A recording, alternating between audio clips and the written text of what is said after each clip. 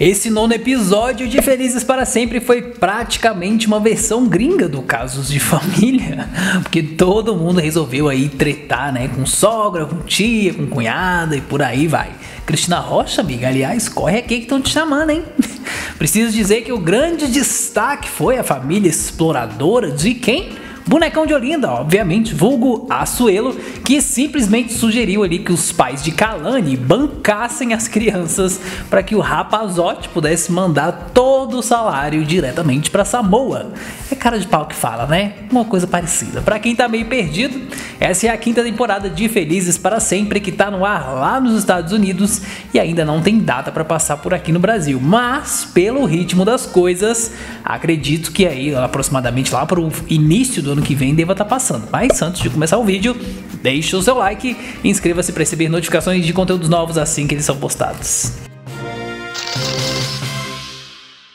Começamos o episódio com uma treta quentinha direto de São Paulo entre a família Bates e Jesscat, né, que tinha ficado ali enlouquecida da vida porque o coach jurou que não estava mais falando com a tal da Vanessa, vocês lembram, né? que por sinal é a atual namorada dele. E aí Dona Debbie contou pra Jesscat que a tal da Vanessa é quem tava cuidando lá das gatas lá que, que eles têm, né? Lá na casa deles em Las Vegas. E aí, Coach Norman Bates revela para as câmeras com aquela voz né, de pobre coitado de vítima que ele não fazia ideia de que Jesscat ficaria tão nervosa por conta dessa história aí. Isso aí é PHD em fazer, fazer de doido, né? Não? Ele fala que não vai correr atrás dela porque vai deixar que Jesscat digida. Jesus? Não, digira, digira vai deixar ela digerir essa história aí, né, sozinha.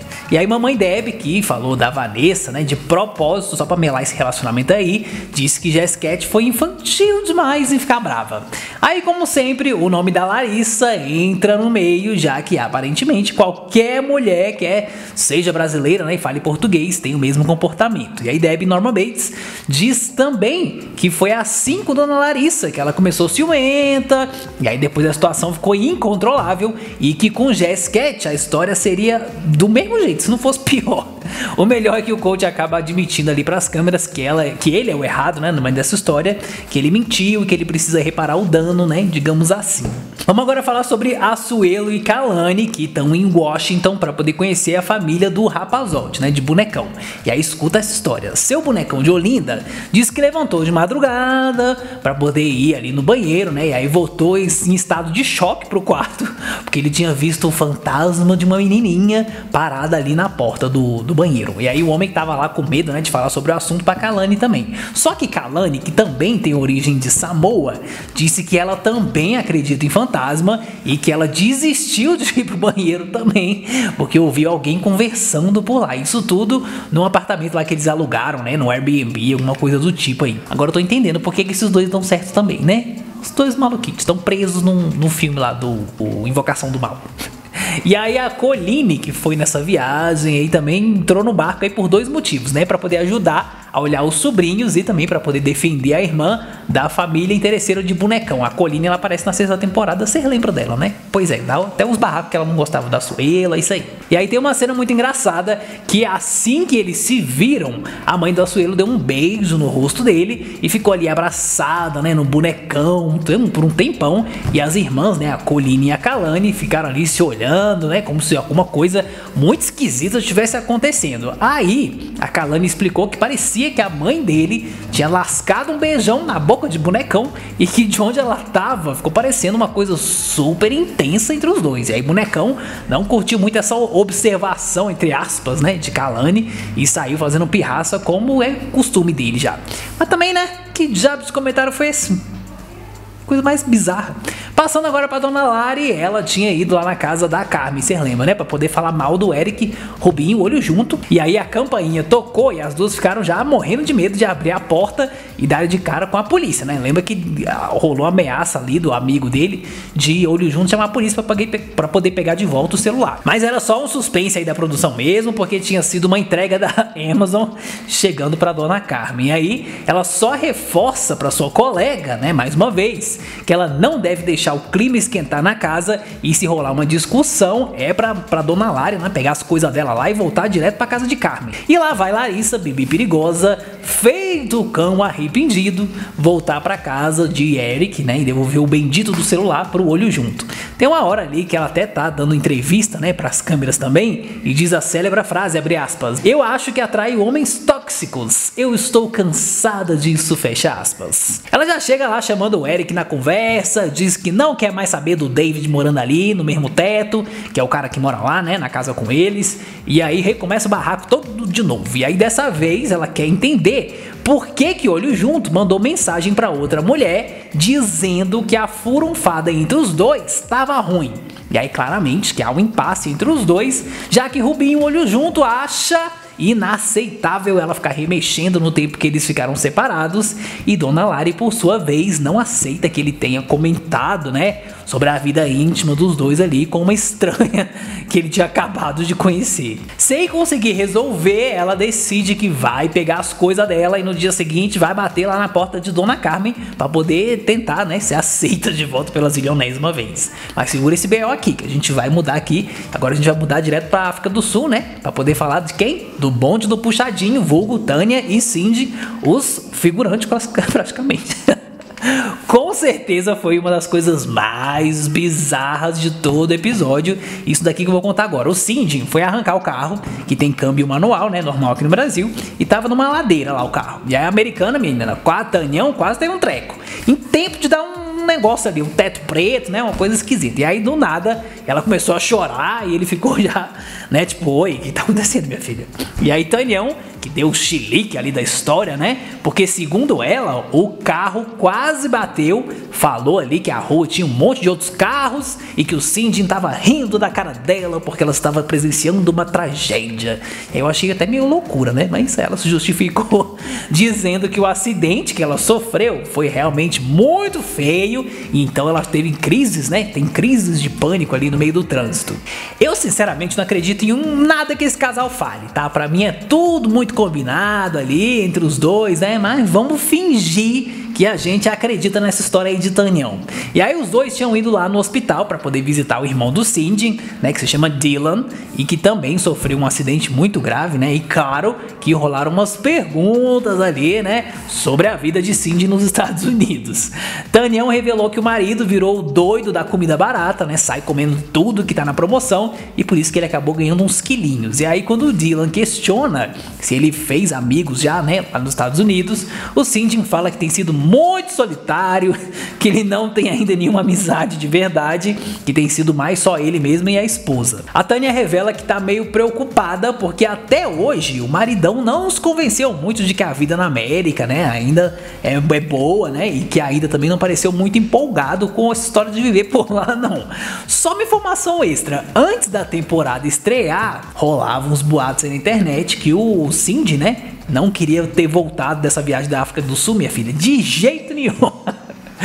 Agora é hora de continuar a treta que encerrou o episódio anterior, vocês lembram, né? Que foi de Andrei versus a família de Elizabeth. Preguiça desse, dessa parte da história. Morro de preguiça. Mas vamos aí, tem que contar. Vou te falar que eu ri demais, aliás, do Charlie chamando o cunhado para poder sair no braço.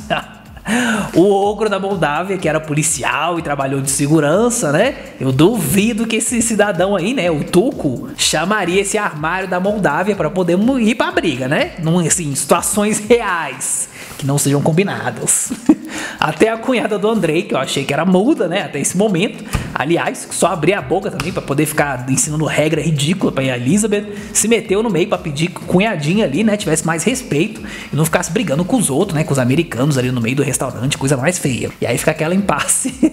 Cada um fala uma coisa, aí o irmão do Andrei já resolve também fazer uma pergunta ali de um milhão de dólares, né? Que todo mundo queria saber. Foi mais ou menos assim: Tuco, meu filho, por que, que você ficou tão bolado? Vamos, vamos colocar as cartas na mesa. E aí o Tuco, né, filho de seu Lineu, começa a falar que foi o cunhado, né, o ogro Andrei, que queria ir pra briga com ele, só que ele só tava fazendo umas perguntas ali, né, que não precisava disso tudo. Aí o irmão do Shrek e o Chuck, né, que é o seu Lineu, chegaram à conclusão de que foi o álcool, né, a culpa era do vinho, que tava falando mais alto.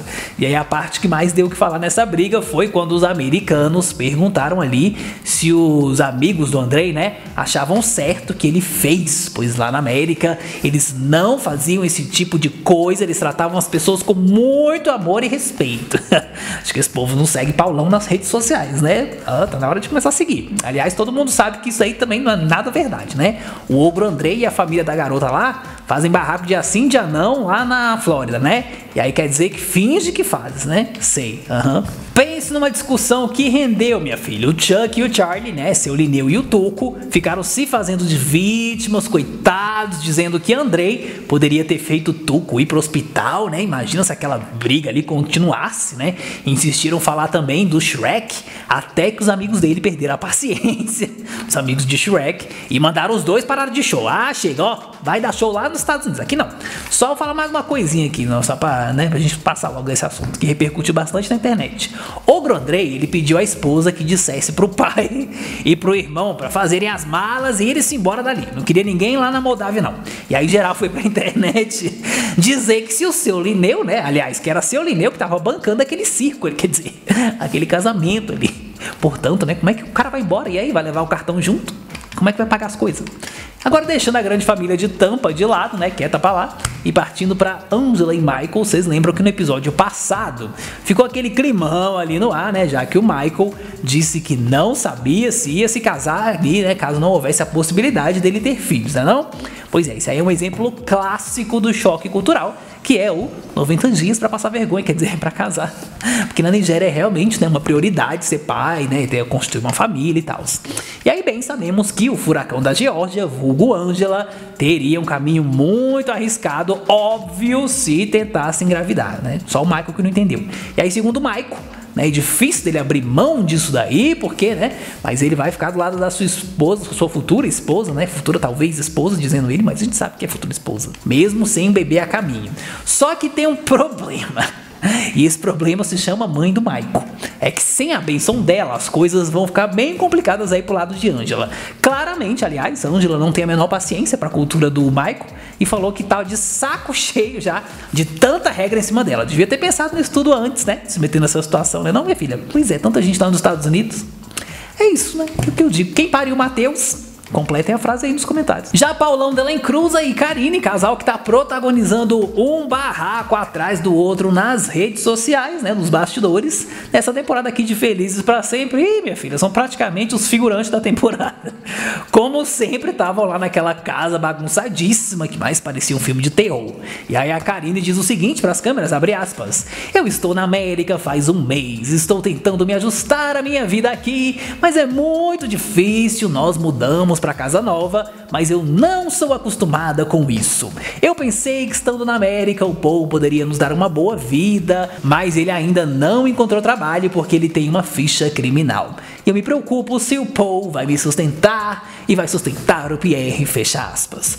Só um detalhe, Karine, ela odeia a barulhada que é a linha de trem, ó, onde fica ali perto da casa dos dois. E olha, eu meio que me identifico aí com Karine, porque aqui perto também tem, né? Eu moro perto de uma coisa de trem que tem aqui perto, né? E aí sempre quando eu tô gravando vídeo, imagina, né? Vocês já sabem, né? Faz uma barulheira, meu filho. Tem que ficar parando aqui um saco. Mas enfim, claramente ela não tá nada feliz, porque seu Paulão não arruma emprego e com certeza a grana já tá acabando, né? Pois é. E aí eu adoro que ela fala ali pelo aplicativo que no Brasil ela não morava perto de uma linha de trem. E aí Paulão dela em Cruza disse que tinha barulho de tiro e gritos na rua o tempo todo. Mas fora isso, tava tudo certo, tava tudo ótimo. Os dois estão igual a Elizabeth e o Andrei, né? Presos no looping eterno, brigando sempre pelo mesmo motivo. Ai. Só que no caso de Paulo Delen Cruz e Dona Karine, aliás, o BO é que ele não trabalha e eles têm de cuidar de um bebê, né? Mas nesse caso aí não tem nem papai para dar dinheiro também, né? Não tem seu Chuck. Né? No máximo tem a mãe do Paul que dá um dinheiro ali às escondidas. Aí a Amazonense dá um ultimato para Paulão, dizendo que se em dois meses ele não te arranjar um emprego, ela e Pierre vão voltar pro Brasil sim e ele que lute. E o marido então promete que vai fazer o seu melhor, mas diz que ficou de coração partido ao ouvir toda essa história, tadinho, né? Acha que com o poder do amor dá para poder pagar o aluguel, né? Não. Voltando para Kalani e Assuelo, para uma cena que também bombou nas redes sociais, a família do Assuelo é um cosplay dos parentes do Pedro da Chantel, né? E aí é tudo um bando de interesseira. Eles estavam ali numa pracinha de food trucks, né? E aí o bonecão saiu comprando um monte de comida, mulher, mas era um banquete de Natal aquilo ali. E aí as irmãs dele perguntou onde tava o aqué, né? Cadê o dinheiro que a mãe deles pediu? Que no caso eram os mil dólares lá que a gente comentou lá no outro resumão, né? Você lembra desses mil dólares? Pois, pois é. Agora eu vou mencionar rapidamente, né? A Tânia e o Cindy, de novo, porque ela foi lá com a sogra e a cunhada para dar um rolezinho, né? Um passeiozinho. E claro que elas quiseram saber mais sobre como as coisas estavam indo, né? Nos Estados Unidos. E aí Tanião disse que o marido estava feliz, sim, nossa, maravilhosamente bem, mas que ela ainda, que ele ainda não conseguiu ter o compromisso de um casamento, né? E aí a família dele ficou meio receosa ali de que ela seja um pouco controladora ou iludidos e tente mudar quem ele é, né? Mas como um bom novelão das seis, acabou que todo mundo saiu chorando, se abraçando e aí garantindo que todas as coisas vão dar certo, porque Deus é mais e Deus sabe das coisas que ele faz. E aí de volta para Nigéria com o Angela e Michael, eles foram lá escolher o bolo de casamento, né? Na companhia de quem? Tia Lídia, a treteira, e da Bucky, que é uma meia-irmã lá do Michael. O trem já começa a descarrilar, minha filha, quando a Lídia e a Bucky implicam que o casamento vai ser num estilo mais americano, né, e não um tradicional nigeriano, e dizem que a família não vai gostar nada daquilo ali. Mas aí, quando eles contam que a grana tá curta por causa do visto do Michael, a parentada lá resolve que eles vão fazer uma vaquinha, né? Vão pagar ali a festa e aí tá de buenas, né? Sendo assim, dá para poder misturar um pouco da cultura de cada e fazer um negoção ali. E aí vira um climão de novo quando surge o papo dos bebês, né? Gente, vamos combinar aqui. Tava todo mundo desesperado na família que o Michael trintou, né? Sem botar uma criança no mundo. Eita, e agora? E aí, pelo desespero, a família devia estar tá surtando já. E a Angela explica que ela fica meio nervosa né, de falar sobre isso, mas que é muito complicado para ela engravidar essa altura do campeonato. E aí, minha filha, tia Lídia e Bucky voltaram a falar de concubina, de barriga de aluguel, de não sei o que, e Angela boladíssima. A Lídia já mandou logo a real que a família não vai ficar muito feliz com essa história, mas o pior será a mãe do Michael, porque essa sim vai tentar tirar esse casamento aí da cabeça do filho dela. Mas vamos ver como é que o casal vai fazer, né? Eu, se fosse eles, não discutia nada disso com ninguém, ia-me embora ali pra Geórgia, me fazia de maluco, mas cultura é cultura, né? Mais uma vez, quem pariu Matheus Complete a frase. Continuando a treta lá do Açuelo e da Kalani, a família do Açuelo, né, exploradora toda, mencionou os mil dólares que foi pedido ali pela mãe da Samoana, né? E aí Bonecão respondeu que levou só 100 dólares e já tava bom demais. E aí as três ficaram chocadíssimas, falando que isso era pouquíssimo dinheiro, não dava pra fazer nada com aquilo ali não, filha.